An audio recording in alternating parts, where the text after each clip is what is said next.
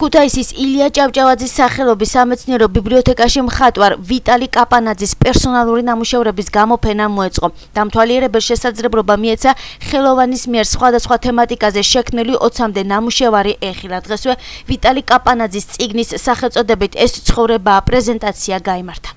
წარმოდგენილი ყავს იმერეთის რეგიონის წამყვანი და საქართველოსი აღიარებული მხატვარი ბატონი ვიტალი კაპანაძე. რა თქმა უნდა გამოფენა ჩვენი ფარგლების ჩვენი პარტიის გამო სიფცის გამო რა თქმა უნდა არ არის ძალიან დიდი მაგრამ რაც არის წარმოდგენილი ეს 20-მდე ნამუშევარი გვაძლევს საშუალებას. დავინახოთ მისი მკეთრად გამოვლენილი სტილი მხატვარი რეალისტისა, რომლის შემოქმედება არ შემოიფარგლება რაღაც ერთი ჟანრით, ის თითქმის ყველა ჟანრში ერთნაირი წარმატებით მუშაობს. ეს 70 წესთან დაკავშირებით ხოდა თბილისში ხელოვნების მუზეუმში დიდი გამოფენა, სადაც წარმოდგენილი იყო 200-ზე მეტი პერსონალური ნამუშევარი. ეხლა გამოფენა, ასე ვთქვათ, გამოძახილია უკვე ეს ქუთაისში.